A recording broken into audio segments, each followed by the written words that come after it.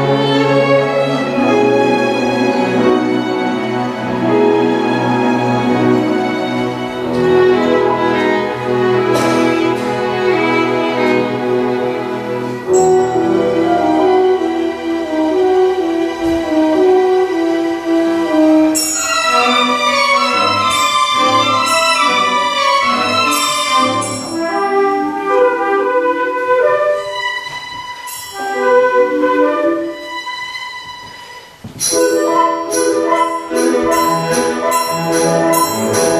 you.